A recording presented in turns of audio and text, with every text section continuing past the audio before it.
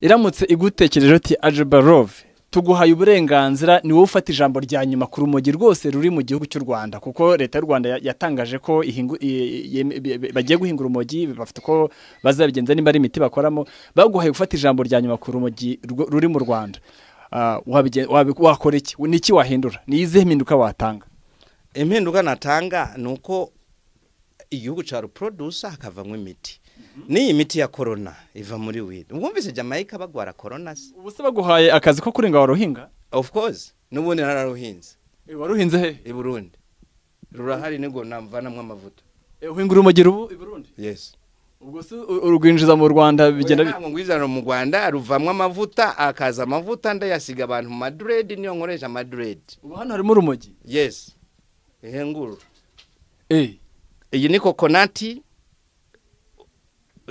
cannabis je ntabwo nkwita urumogi kuko ntabwo ari urumogi. Urumogi ni izina ry'ibintu byose ibiyobyabwenge. N'ubumaraya n'urumogi urumva cannabis kokonati avocado pama oil. Ibigazi bijya bivamo ngubu- ama oya urumogi uvuze urumogi. Urumogi ni izina ry- rya general ry'ibiyobyabwenge byose. Ni inzoga n'urumogi. N'imiti igurwa muri farumasi ni urugero nk'ubu wenda ndabizi abakozi cyangwa se abayobozi bo muri RDB n'abandi banyarwanda muri rusange bakunda kureba Isango Star baramutse babonye koko ubishoboye. Ubundi kugira ngo baguhe akazi ko guhinga urumogi wabacangahe ku kwezi? Ntabaca miliyoni zitanu. Kuri abantu bakunda umuziki muziki wa Lucky Dube cyangwa se bakunda reggae barababaye. Ariko by'umwihariko wowe urumva cyane ko mwahuye i Bugande murongera muhura Los Angeles muri Amerika we wabyakire gute urupfu rwe warwakire gute? Ndabizi ko byanze kunze barabaye ariko umwihariko wawe wari uwo.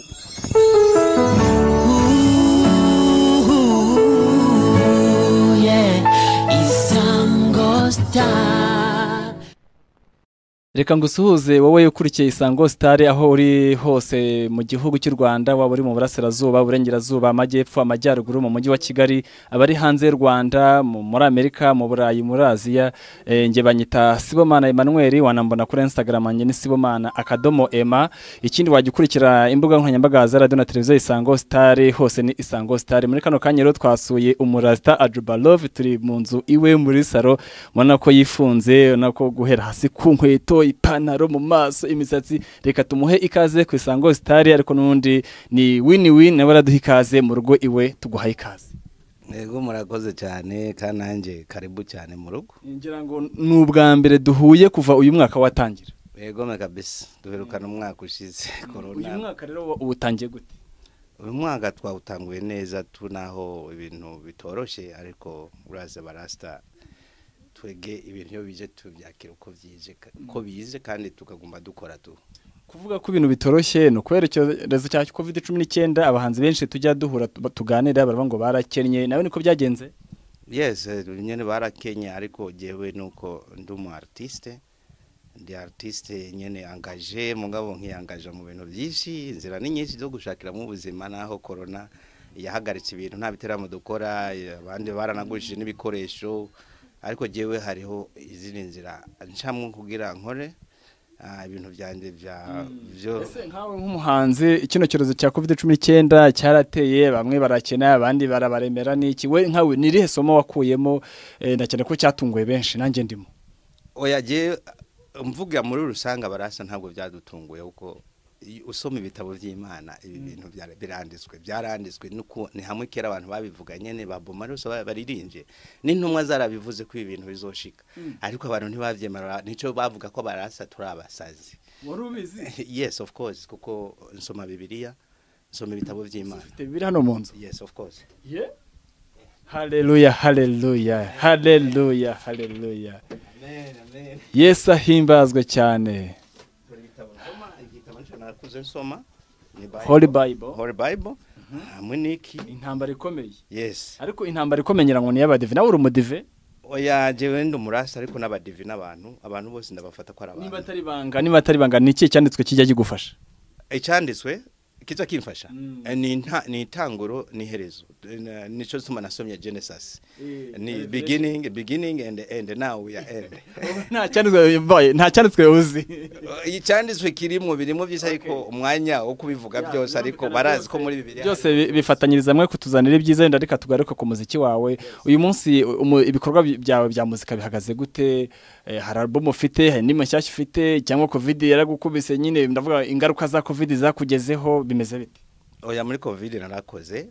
Ubu warasanzwe akora yakomeje akora akompoza kubera twari guma mu rugo muri guma mu rugo mu guma mu rugo u- uramedite nyene ukandika ibihangano nananditse ibihangano nanditse album zitatu. Ariko ubu nasohoye album imwe niyo iri kuri online kuva utangiye umuziki kugeza uyu munsi tuvugana ubu nk'ubu umaze kugira indirimbo zingahe? Mfite indirimbo ijana na mirongo itandatu na zitanu. Ijana na mirongo itandatu n'eshanu. Yes. Ariko hari izo nasohoye n'izindi. Nshasha n'ubundi ngoma nkora. N'ubu hariho album Mm, izimaze kujya hanze. Izimaze kujya hanze ni mirongo itandatu. Yeah. indirimbo mirongo itandatu. Ubwo ziri kuri alubumu zingahe? Ni album zine. Ubwo umuntu avuga ko watangiye kuririmba mu wuhe mwaka? Natanguye umwaka igihu- igihumbi magana icyenda mirongo icyenda na gatatu intambara zitanguye mu biyaga bigari. Niho naciye nibaza nanjye mu music nsohora message y'amahoro. Ndagira ngo uduhe ishusho icyo gihe winjira mu muziki byaremeze bite? Ah ntibyari byoroshye kuko ryo muziki nawutanguriye Tanzania. Yes ubundi mvuka mu Burundi ariko navuye i Burundi muri mirongo icyenda na gatatu intambara itangiye. Ubwo nje ntangira Tanzania none nace ntangurira umuziki ntangurana gucurangana n'abatanzania nicyo tuma n'abantu benshi banyita mu umutanzania ariko kubera nabaye mu bihugu byinshi Yes, naongea Kiswahili tena Kiswahili faswa juu nilikuwa nasoma Tanzania. Yes, of course. au unasema Kiswahili kile cha Kongo Ah, mimi siongea Kiswahili cha Kongo. nilikushereshere lakini No, nikakumanga no, no, mimi naongea Kiswahili cha Tanzania kabisa, Kiswahili faswa Tunakoli kweli. Yeah. wewe uko nje nyivuka Wewe unakiongea na watu wote wanapaswa waongee Kiswahili sababu tuko mu East Africa. Hanyuma muri urwo rugendo rw'umuziki experience wadusangiza muri urwo rugendo rw'umuziki ni iyihe? Ah, experience nabasangiza nuko na ndashaje mu muziki mu maze mu myaka myinshi nagenze mu bihugu byinshi nuko nyene ibanga riri mu muziki umuntu no kugumukora. ni ukugumukora abantu bakuma bakumva nyene ibihangano byawe ariko ibihangano vyiza nyene bitava ku kuri 6 mbese je ndavyita ko bitava ku butaka. Hari ibihangano biva ku butaka. Urugero? Urugero ni nk'izi ndirimbo z'aba bahanzi b'iki gihe baririmba. Mm. iramara ukwezi ukundi kwezi ntuyumva. Ese nanjye ubwenda turaza kukigaruka kubera icyo bavuga n'ihita izima kubera nta mwanya nabo bafata Eh. wo gukora ico kintu. Ikintu iyo wihuse ni nkaho ugiye ugiye kwiba umuntu uba wihutishije ubuzima. Ngira ngo hari umuhanzi ejo bundi na- nasuye n'ejo bundi bamwita makanyaga abdul. Twaraganirira mu gihe atangira umuziki nsanga navutse njye navutse muri mirongo ine na gatanu usanga naravutse afite experience mu muziki nk'imyaka irenga cumi n'itanu. None wowe uririmba injyana ya ya reggae music and nkacana na na reggae music ariko nkashiramo na hi, na hip hop cyangwa uh, um, na dance reggae. Eh. nyene ndashiramo injyano zituma abantu nyene banyeganyega you know? Nyeganyega tu. Dukubita nka kakapera k'amasegonda nka cumi n'atanu makumyabiri. Okay. nkundira uze nta wundi nshaka come on people try again try again. Come on people try again try again. Yes we do we do we do. Yes we can we can do everything inside the corona hanyuma mbwira kubera iki wahisemo injyana ya reggae kandi hari za za n'izindi njyana zitandukanye kubera iki ariyo wahisemo? Rege nayihisemo kubera nanjye ndi kugenda mu muhanda ngenda nka rege tu. Ni heartbeat. Eh, ni heartbeat ni umutima utera. So twese dutera tugenda umutima uko uteye ni kugenda. So twe Eh. twacaguye reggae music kuko niyo njyano twacaguye kuko niyo njyano yagiye muri slave mu bucakara. Bazi ko badutwara batwambitse iminyororo niyo havamo that's music. mu kwi- mu gukora umuziki wawe wa reggae ba roromodo bawe ni abahe umwana wese cyangwa se umuntu wese ibyo akora cyane cyane bijyanye n'impano hari nk'umuntu aba areberaho wowe waba urebera kuri ndi abo bita roromodo abo ndeberaho nakuze numva numva ba Peter ba Bomare um, ba Lucky Dube i- mbese um, ba Gregory Isaac ba Ijaman Don Carlos mbese ah, ah, bose baranyinspira ariko icya mbere ni jewe natanguye kwiesperaje jenyine kubera nanjye iyo mpano ndayirimo ariko nanjye nkaguma ndeba abantanguriye kuko aha turi hari abandi ni cyo tumena n'ibyo aha turi hari abandi. Urumva natwe twaca dukora neza nk'uko aba- abatangiye bagiye bakoze nibuka igitaramo nge nigeze kukubonamo ngira ngo ni hakuno ya Tanzania ku butaka bw'u Rwanda ni za Kirehe harya? Ni kirehe mahama nyine wari umunsi w'impunzi Na- nyine ni- narebye abantu bari bakubise buzuye ku buryo bashyize muri stade amahoro ntakabije bashobora kuta- kuba batakurwa mu ziriya mbaraga uzikure zo guhagurutsa abantu bangana kuriya abariya ndabahagurutsa kubera natanguye umuziki urabona bariya n'impunzi Burundi natangura umuziki Burundi baranyumva kandi hano mu Rwanda hariho benshi baranzi kuko natanguriye umuziki hano mu Rwanda kuva kera nanacuranze pe nuko nyene ntafite amahigwe yo kugira ibikorwa byanje ba- ba- babipromotinga hano mu Rwanda ubundi babipromotinze nanjye nafasha n'abantu nahaba nakazi abantu. Ariko je ibikorwa byanje ntabwo vyerekanwa cyane. Kiretse abanyamakuru abanyamakuru bamwe bamwe nyene biyumvamo umwuga.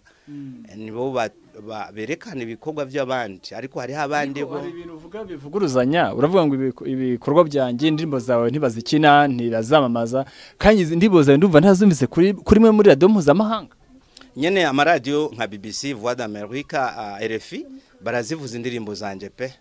E, uvuga ukinguye amaradiyo barazivuza indirimbo zanje. Ariko amaradiyo ya hano ntabwo ba- bampromotinga. Si jewe gusa.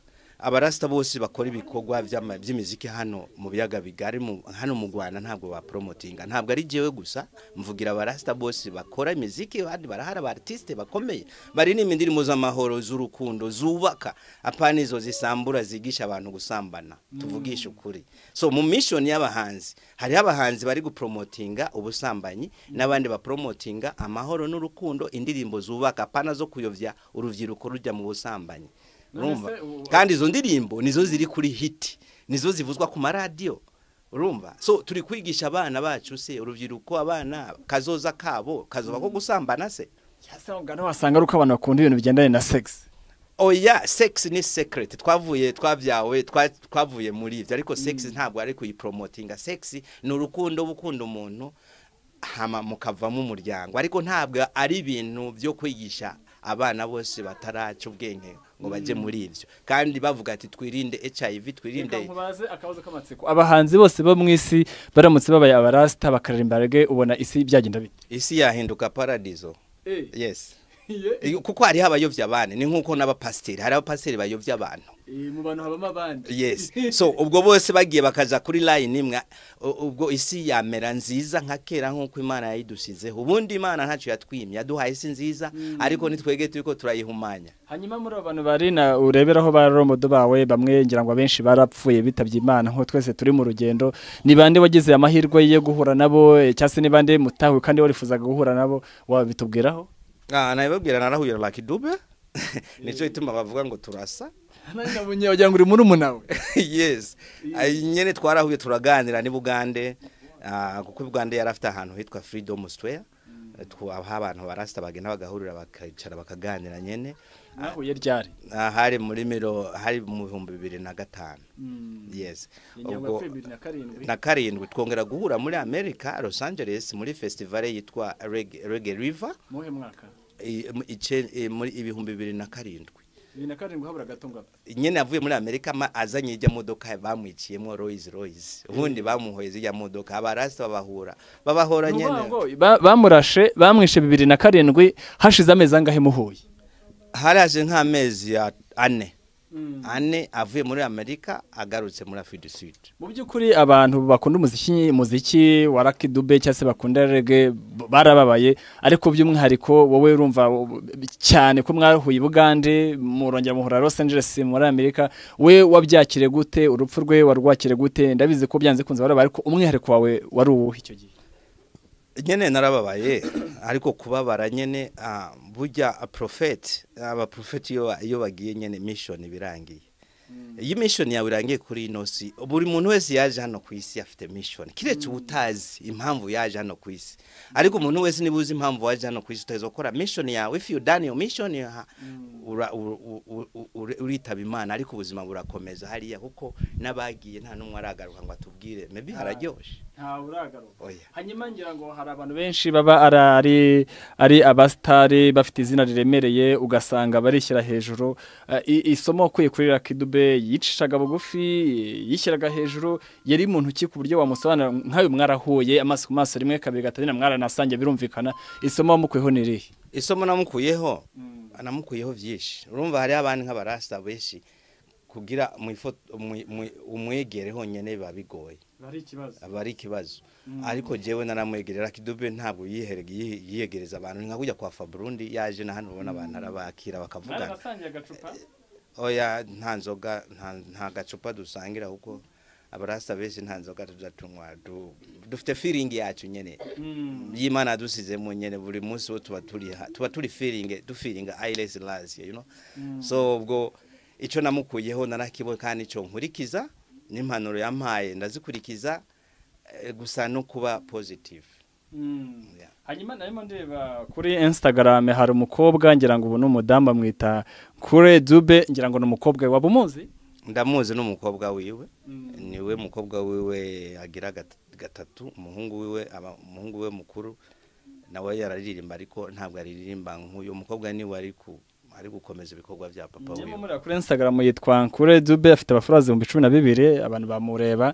Naho mm, mperutse kubona mu mezi nk'atanu ashize yarigiye Nairobi bamwakiranye icyubahiro ngira ngo yarimo agendera icyo bita mu bantu basenga ngo yarimo agenda mu mavuta se mu cyubahiro cya se.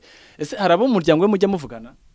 Oya ariko n'uwo mukobwa turavugana kuri facebook turavugana kuri line nyine abarasta ubundi iyo ururasa n'urubuga rwawe ruzaho abarasta. Iyo uri umusambanyi urubuga rwawe ruzaho abasambanyi. So ubwo jewe urubuga rwanjye ruzaho abarasta bose turavugana ku isi hose abarasta turi unity kuko turi ingabo turi ingabo z'umwami umwe.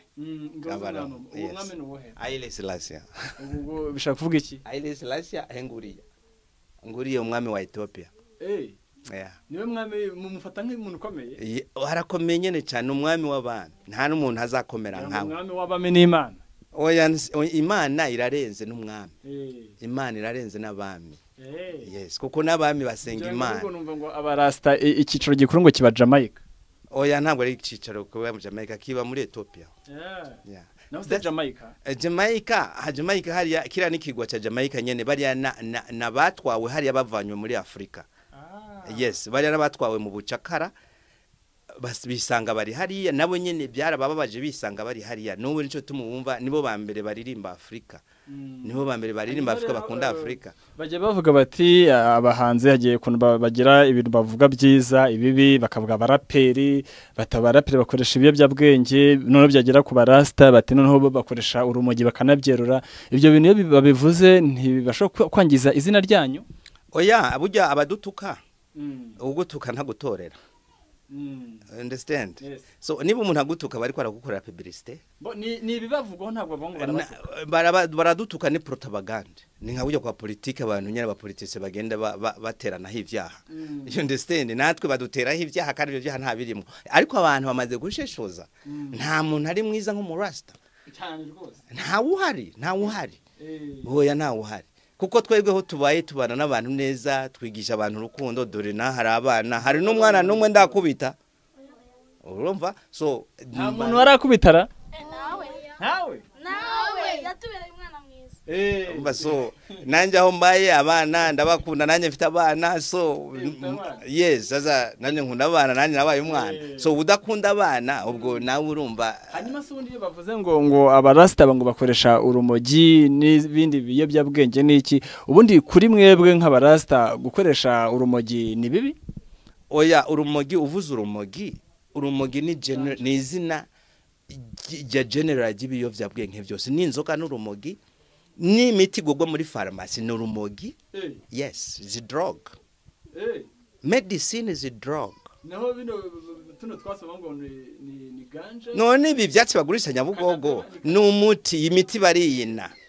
Ni imiti yina abantu bakivura. None se ko numva ngo bararurimye ikirehe hariya nyine amagitari n'amagitari none ni leta rega leta ni abantu icyo kibazo ndakibajije banyishure abo bajejwe leta nyine leta nzi ko ari abantu abantu nkatwe undi leta ni twebwe yes of course. So if people they are farming bari kurihinga ibishimbo reka bahinge ibishyimbo abantu barye. None wahinga ibishyimbo ntusarure ibyo kurya nawe. Ubu se baguhaye akazi ko kurenga waruhinga? Of course. N'ubundi nararuhinze waruhinze he? I burundi. Rurahari ni bwo navanamo amavuta. Eh, uhinga urumogi rubu i burundi? Yes. Ubwo se urwinjiza mu rwanda bigenda ngwizana mu rwanda ruvamwo amavuta akaza amavuta ndayasiga abantu mu niyo nkoresha amaduredi ubu hano harimo urumogi? Yes. Ihenguru eh. Iyi ni kokonati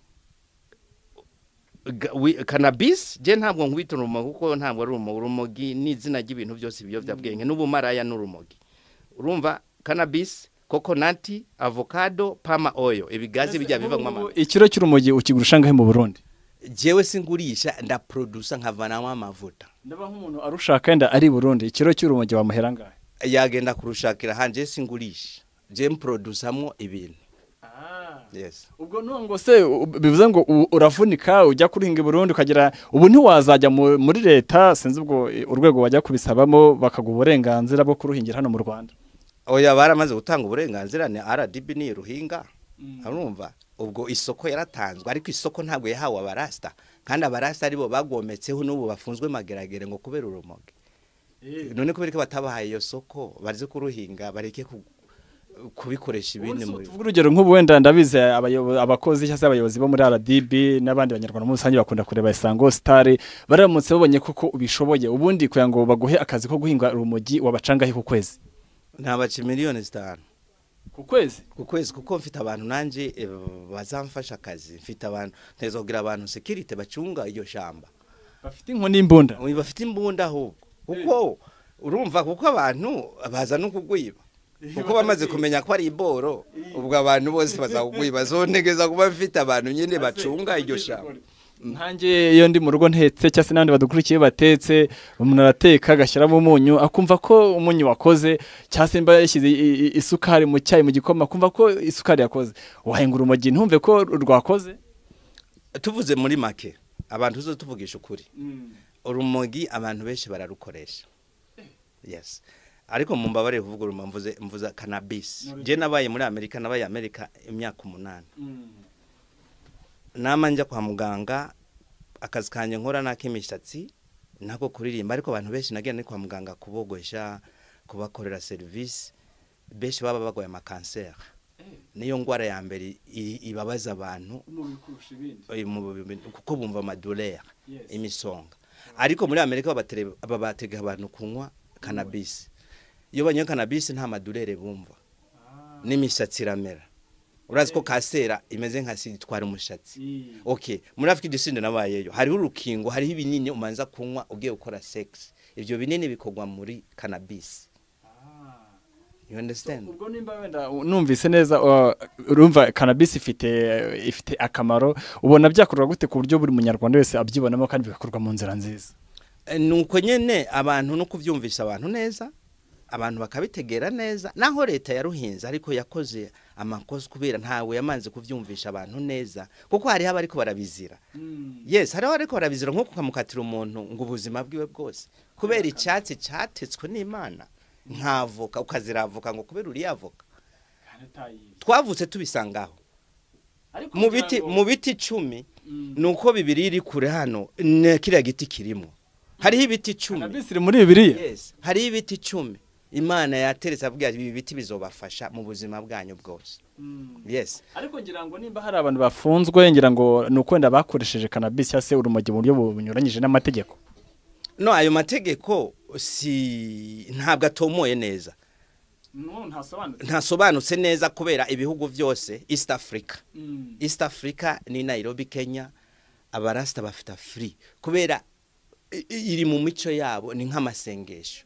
Ubundi iyo bariko barakoresha cannabis ni amasengesho yabo yes. Nicyo gituma ibihugu bidukikije abarasita bafite ijambo ni muri sena barimwo. Waduha itandukaniro riri hagati y'urumogi cyangwa se cannabis n'itabi ko itabi ngira ngo hano hanze riremewe. Itabi riremewe kubera ryishura taxi rega hari icyo mutazi. Ikintu kiticura taxi leta ntigikunda. Nese kuki batavuga bati njyewe ngiye gucuruza urumogi ariko nzishyura umusoro? Hariho abacuruza n'ubundi hariho abacuruza bemewe no gufatwa badafatwa. Mu gihugu se? Yes. Urahazi se? Oya si mpazi bazohamenya. Ariko hariho abantu bacuruza bazwi mbe na leta irabazi bacuranga batiregwa bafatwa. Hafatwa izo mbobo nyene. Yes ariko abantu ino ngingo y'urumogi tuyiva tuyiviraho rimwe ni iki wasaba inzego za leta abafite mu nshingano gufata gahunda y'imbara adibi ku bijyanye n'urumogi ni iki wabasaba? Icyo nabasaba ni kubera ko bafashe kuruhinga kandi batamanze kuba kubwira abantu kubyumvisha abantu neza kubera abantu benshi babona ikibazo cy'ibyo bintu. Bavyita ko ari ibiyovyabwenge none kubera ko bahinze ibiyovyabwenge aha reka nkoze akabazo k'amatsiko kuri iyi ngingo. Uyu munsi leta y'u rwanda iramutse igutekereje uti ajebarove tuguhaye uburenganzira ni wowe ufata ijambo rya nyuma ku rumogi rwose ruri mu gihugu cy'u rwanda. Kuko leta y'u rwanda ya- yatangaje ko bagiye guhinga urumogi bafite uko bazabigenza nimba ari imiti bakoramo. Baguhaye gufata ijambo rya nyuma ku rumogi ruri mu rwanda. Ah, wakora iki? Ni iki wahindura? Ni izihe mpinduka watanga? Impinduka natanga ni uko igihugu cya ruprodusa hakavamo imiti. N'iyi miti ya korona iva muri widi mwumvise jamaica bagwara korona se? Ese jamaica ntabwo mu rugo bagiyemo? Nta niyo bagiyemo. Nta n'umuntu yagwaye. Nta ukora amakuru. Wigeze wumva ngo jamaica ngo hari abantu bapfuye? Ubundi widi ituma bijya bintu biza mu bihaha by'ibizi amazi aza atakamaro afite widi irabikamura. You understand? Irabikamura ni nk'uko ubaye munini. Ugakoresha widi urananuka. Eh, uranumva? Amavuta yose akuvamo. Iragukonsoma. ese uba mugani ubuheruka gu- gusoma ku kamogi ryari jewe oya mu rwanda numvise basizeho ite- itegeko ry'umuntu ko bamwica agafungwa burundu ni nko kumwica ubwenge. Burya niba umufunze umuntu burundu uba waramwishe n'ubundi. Je nabivuyemo ntabyo ntabyo nkoresha. Ubu se imirima yawe iri burundu ubu ngubu iracungwa neza? Iracungwa nyene. Iri mu rumonge. Ahantu hitwa mu rumonge. Ubu se- ndahababwira ariko naho ni- bogendayo ni nka hegitare- ni nka hegitare zine enye. yes. Siko ndi kumwe n'umukire. Know? Yeah. ntabwo ari abundi iyo umuntu bwese umwise ngo ni umukire ahita ngo amafaranga yarabuze wari umukire kabisa. Ndo ni umukire ariko mu mutima bwa mbere. Ubundi ubukire buba mu mutima. Ntabwo buba ku bintu. ibyo tu- tubireke Yeah. by'urumogi ni iki tujya ku bindi bikorwa. Uretse umuziki n'ibindi ni ibihe bindi ukora? Um, mfite uruganda rukora ayo mavuta. Mfite uruganda rukora dread n'abantu ndabatera dread nuko musanze nyene zarahaye zo nanohereje ejo muri Canada. Ntazo mfite hano ko ibyo nkora nkora byinshi barabibona bankurikina ku mbuga zanjye nkora ama dread nije umuntu wa mbere hano. Ino misatsi. Yes nk'izi nyene dread. Kandi Hey. dread zanje nkora ni dread yani ni style ni Jamaica style izi ni wowe uzikorera? Oya izi izi ni izanye nini navukanye ni imisatsi Mm, yanjye. ariko hariho abantu baba bashaka zo kubomekaho. Badafite badashaka gutegereza kuko dread iyo ushyizeho izawe utegereza kugira patient. Yes kwihangana. Nyine ugatereka imisatsi yawe. oya ntabwo ari buterano nta bintu jewe nshira. jewe ntabwo ngira ibiterano. bwanwa. Eh ni metero. Kuri kamera niba ziri kugaragara. Nk'igice cya metero. Yes. Ubu bwanwa si ubuterano? Oya. N'ubumerano ni ubwanjye. None se ntubona dore n'imisatsi yanjye. Dore n'imisatsi yanjye ni singa. Ay, oh, burya imana iguha byinshi. Urabona imana yangize mugufi ariko yampaye imisatsi myiza impa n'ibindi byiza. urumva izi zose ni ingofero mboha product. Yeah, this is my product. Ubu n'ingofero niwo uyiboha? Yes none ntubona Eh, reka ntubona niyo ko ndi tuba tuzi ko kuyikora bino ari iby'abagore. Abagore se abagore ko mu abagore ariko ko mwabashyize hasi cyane. Hari imirimo y'ubundi yagenewe abagore? Oya nta mirimo yagenewe abagore ahubwo abagore bakora neza. Eh, abagore bagiye gufata n'isi. Kuko abagore ni beza baratubyaye nta nubwo baza mu ntambara. Ariko abagabo reka reka reka reka. Abagabo twege turi fake sana. ko uri umugabo ufite n'abana ko nta mwana ndabona uko bano bari mu buryo n'abawe. Nyene umwana w'umuturanyi abana bose ni abacu. Iyo wabyaye nawe ubana n'abanjye nanjye n'abanjye ni ab'abandi ubu abana nahabonye inkweto z'umugore cyangwa se z'umukobwa. Umudamu wararyamye ari he?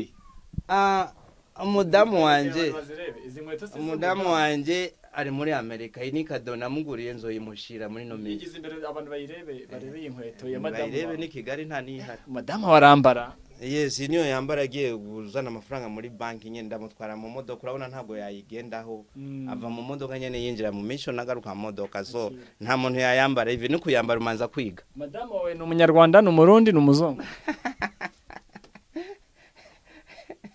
Oya. No ni nation y'imana tu.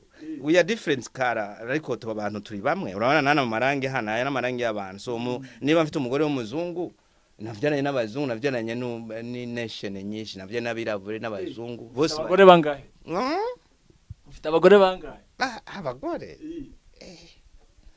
Abago- oya si abagore.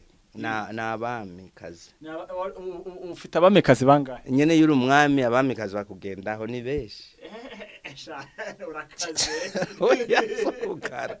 Oya si ugukara nyene iyo ufite urukundo urukundo nk'abangani bariya bose bariya bose um, inshuti zanjye n'abajya abana n'abana banje twabyaranye ubwo nanjye mfite umuryango mfite abana batandatu. Bavutse ku bagore bangahe? Abagore batatu. Ubu mu buryo buri official abagore bawe ku buryo umunsi bashobora kuzana ukabaha ikaze ni bangahe? Oya nta mugore aza hano umugore wanjye nakubwiye umugore wanjye ari muri amerika nta mugore njye mfite. Muherukana ryari? Maze imyaka itanu. Ntimwatandukanye mu ibanga. Ntabwo twatandukanye hatandukana abadakundana. Imyaka itanu utari kumwe n'umugore? Yes. Ndi mu mission. Ni nka ujya umusirikare agiye mu, butumwa. Waje gushaka amafaranga. Oya nagiye mu butumwa bw'amahoro.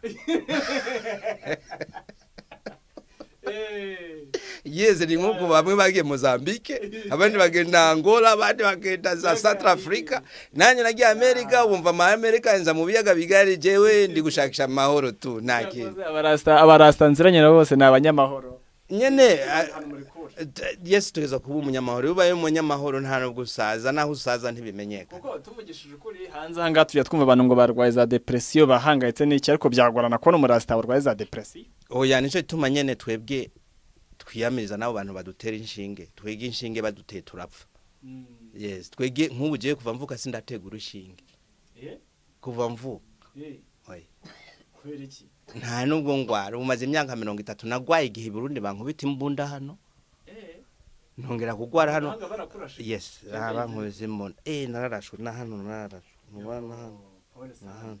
So yes hari impamvu hanyuma yose. mu mu muziki uzi gucurangisha ibihe bicurangisho bya by'imiziki gitare ndacuranga gitare nuko musanze imigera naraye ncuranze nijoro imigera iracika. Ariko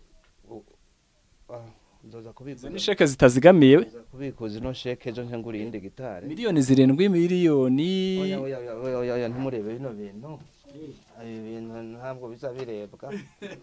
Amafaranga amafaranga. Za sheke za miliyoni zirindwi ibihumbi magana angahe nyene ni za sheke nyene ariko urumva ye turakora kabisa. ye turakora amafaranga araza kandi ata amafaranga ntabwo twabaho. Ko turi muri system y'amafaranga nyene uteza gukora kubona ubona amafaranga nyene no gusevinga sevinga mu nzu yawe hanatatse rero uzi ko guhera kwitapi imeza ikintu cyose ni mu ibara rya rasitafa yes ni umukororombya that's rainbow like rainbow. yes ni no ntabwo ari ni darapo ya Afrika. Iyi bendera isumba ibendera zose z'ibihugu byose ziba ku isi. Yes. Nyene niyo bendera ya Afrika niyo bendera iperezida ntubona ne kwisa ya Ethiopia? None umugwa mukuru wa Afrika ni he? Of course. Nande na Haile Selassie. Umwe nakubwira king of king. N'ubu aracyariho yarapfuye. Ariko ntabwo yapfuye arahari kubera yasize ubutumwa. Abantu bose n'abakuru b'ibihugu bayobora bayoboye bagakurikiza uriya. kuzasura etiyopiya nyene namanjayo ariko dufite ahantu hacu we yaduhaye ubutaka hitwa shashamani. Ishashamani iyo ugiyeyo uhabwa ubutaka ugahinga ukabaho. Ese ubu tuvugana ninde ufite usigaranye idarapo rya ry'abarasita ku isi? Ku isi abarasita bose turarigendana n'iri nyene. Ndavuga nakwita uri on top nk'umwami wanyu mbega umukuru muri mwebwe. Ubu muri twebwe muri barasa nta mukuru abaho. Twese turi bamwe dufite umukuru wacu tu umwami wacu Haile Selassie na Haile Selassie ni ni family Jesus ni umwana wa, wa, wa King Solomon. Ngira baraza amateka Queen Sheba avuka kuri Queen Sheba. Hajya hari abayizira hari abayethiopia b'abayisraeli b'abajuifu ntimushobora kumusingiza mukamwamugira iki? Kigirwamana mu- mukibagirwa gusenga imana mukaba ari we muramya oyaye ariko niba dusenga tugasenga Yesu tukamuramya Yesu na Yesu nawe ategerezwa gushikiza ubutumwa Imana. Kuko twese na Yesu yasenga Imana. Ni umwana w'Imana. Haleluya. Nico tuma abapasiteri babigisha abantu babwira ngo Yesu ni Imana. Nico tuma bamwishe ni muri Israeli kuko babonye nk'uko wewe avuka ngo bakwitura Imana. Ntabwo bavyemera. Na- Uri intumwa, yari intumwa y'imana yatumwe gukiza imitima y'abantu bari kuri ino. Ariko ntabwo ari imana. Uyu munsi ko nta bakiriya wabonye byagenze bite? Oya abakiriya nababonye nuko nagiye gukorera hanze. Sometime ngenda gukorera mo- mobile abantu iyo banterefonye ndagenda gukorera hanze n'ubu banterefonye mvuye nyabugogo na mvuye ku kazi hari abajya baza hano yes baraza baraza baraza benshi ko ibijyanye n'amaderede n'ubundi abenshi bayakoresha ni abakobwa ni abadamu hari abakobwa bajya baza hano abakobwa baraza nyine nibo banzanira iyi business reka kuri ino si nta bantu batanga business nk'abakenyezi abakenyezi Nk'abadamu. Ni abadamu abategarugori Eh, reka mvuga indimi nyinshi nico tuma mvuga ikirundi nkavuga n'ikinyarwanda. Ngiye burundi banyita ndi umunyarwanda nkakubitwa nje hano bamwe ngo wa murundi we. So simbizi ahubwo nzigira ku musozi w'amahoro kuko that, is division. Yeah, they have to stop division. Eh, kandi abarasta ntaguciriyemo abarasta ntibibaze ngo twege turi mu bintu by'amoko. Mm. oya. Hanyuma tukiri Ah, ah. tukiri aho ngaho hajya uganira n'umukobwa n'umudamu akavuga ngo njye ntabwo najya muri geto y'umusore sinajya muri geto y'umugabo. Atata yamfata ku ngufu. Ubu ngubu eh, mu gihe umukobwa yaba ari hano ntiwagira wavuga ati eh yavuga ati amfasha ku ngufu. Oya. Naho yaje arivyo agambiriye umuryango uba wuguruye abantu baba bari ngaho bareba mushake mubaze naho baturanye bose jewe ndi gukora umuryango uba wuguruye.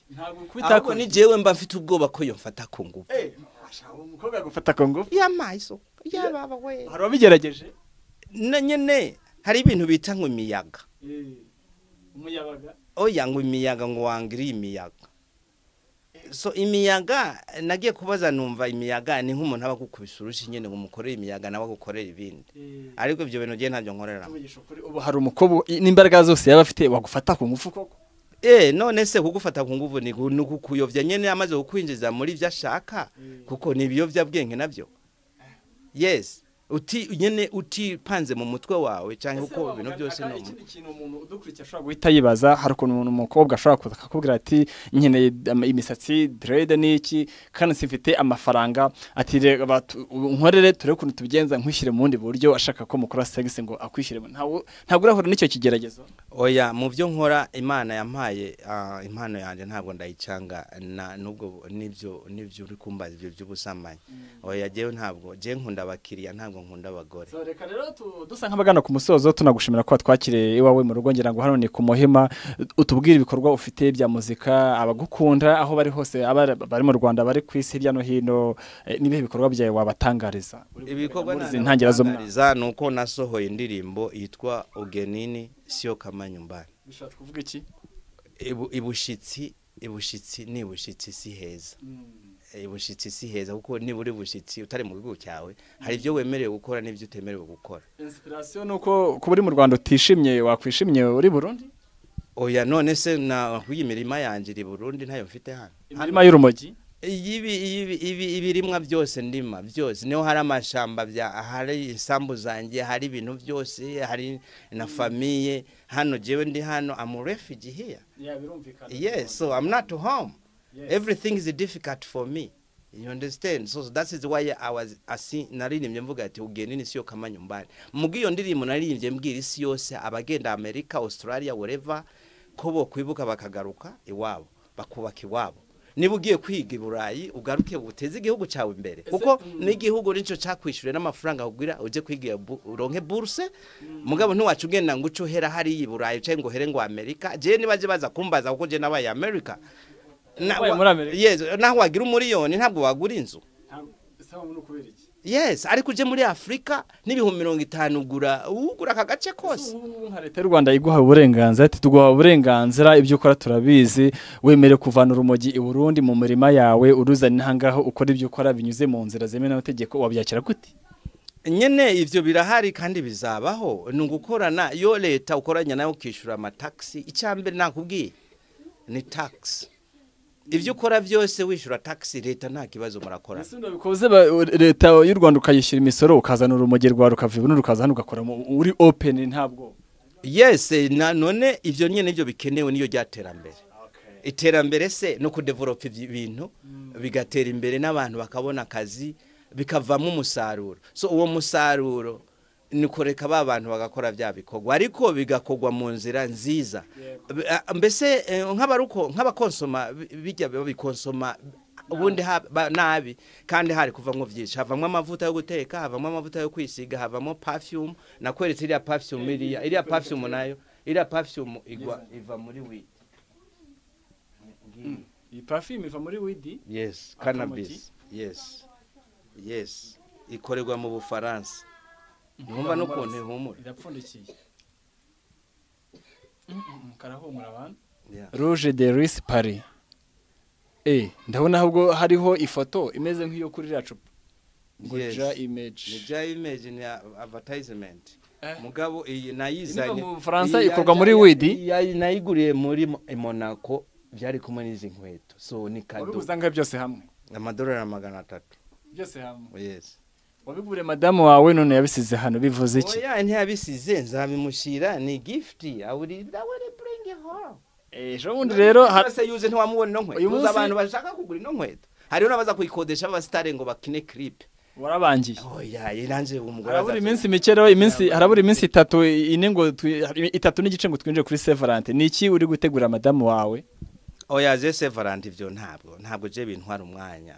Si umunsi w'abakundana se? Nani kubera ko umusore bakundana ko abirabure bakundanye kuva kera ko batabikora mu publicité ivyo ni ivy'aba nabo abo abo bo muri ivyo bihugu vy'uburengerazuba nyene badushiramo. Kuko ibintu vyabo bigira power kuri twebwe. Urumva? Ariko twebwe ivy'iwacu ntabwo bigira power kuri bo. So jewe nta kintu baza bazanye ngo kintwara umwanya. Sevarante umunsi wose waba sevarante umunsi wose abantu barakundana ntabwo ari uwo munsi umwe tu. Ubuse uheruka kuvugisha madamu wawe ryari Ah, buri munsi turavugana. N'ubu mu mwanya turavugana kuko bazoba bavyutse jewe ngiye kuryama baba bavyutse yego ndabizi. yes. hanyuma se ubu ntumukumbuye imyaka itanu utari kumwe na madamu wawe? Nyene hariho impamvu. N'abana bawe. Nyene hariho impamvu nico gituma iyo mpamvu izotuma n'ibindi bikemuka. Iyo mpamvu ni iyihe? Impamvu je naratashe ntaha i Burundi nje gukora projet jyane nk'uko nakubwiye ati ugeni ni sio kama nyumbani. Mimi nimekuja nyumbani nifungue my business. Ni invest inside mu gihugu cyanze twaganiriye byinshi tubwire kuri alubumu yawe tugana ku musozo tunabashimira ko mwatwakiriye. Kandi murakoze cyane. Sanga sango star. Mpora ndayicira nka sanganiro nyene yese mukore mutera imbere kandi ibyo mukora ni byiza. Mukorera mu nzira zose muteza abantu bose imbere mu- mukumvikanisha ibikorwa byabo. Nanjye nkaba ndabishimiye kubona mwaje hano. Alubumu yanjye yitwa ugenene siyo kama nyumbani. Harimo indirimbo cumi na zibiri urukurikirane ziri muri youtube ugiye ugasacinga joba love. Uh, cyangwa ukagugwa joba love uzoca ubona ibihangano byanje. Hama icyo nkeneye kuri kuri abantu ni subscribe. Subscribe? Yes kuko ni ho ntabwo uzi kuba subscribe? Ah, ni subscribe. Subscribe. Subscribe byose birumvikana. Mu icyo navuze cyo bacumvise ba- baduhe support muri subscribe. Nyamuneka mukore subscribe kuri channel ye bayita? A joba love. Umuntu agushaka kugutumira mu gitaramo muri anniversaire ngo umuririmbire akunda abarasta yakubona gute? Yambona ku mbuga tu ya ya sacinga joba love abansacinga kuri mbuga tu ibintu byose byaje muri technology umuntu yumushaka uramusacinga anshatse azambona naho yo uca kuri wewe. Azambona naho yanyura ku ba journalist bose bambo yambona. Nimba tutakuniganya ijambo nimba ntacyo rero tumva twagushimira. Nimba ntacyo urenza numva twagushimira. Yes icyo narenzaho nasuhuza abantu bose batwumva n'abatureba nkabasuhuza ndababwira yuko tubakunda nk'uko nabo badukunda. Kandi turiko turitegura mu minsi iza tuzotangura gukora ibiteramo. Ndazi baratubuza imyaka ibiri tutabonekana kuri stage ariko umunsi twatangiye kuboneka tuzobereka ibintu byiza cyane kandi bihangane nta mvura ida- idahita. Urakoze cyane. Murakoze nawe. Reka nawe ngushimire wari ukurikiye isango sitari aho hirya no hino ku isi ngira ngo mva ko twagize ikiganiro cyiza na rasita ngira ngo wigiyemo byinshi eh, ikindi numva nasoreza ahangaha nitugukenera ndizera ko tuzakubona. Muzambona nta kibazo. Salute.